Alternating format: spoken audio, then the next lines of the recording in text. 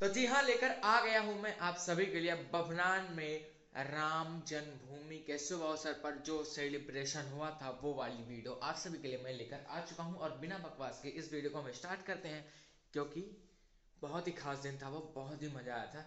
तो मैं चाहता हूँ वो मज़ा आप देखो मेरे साथ इस वीडियो में। लाइट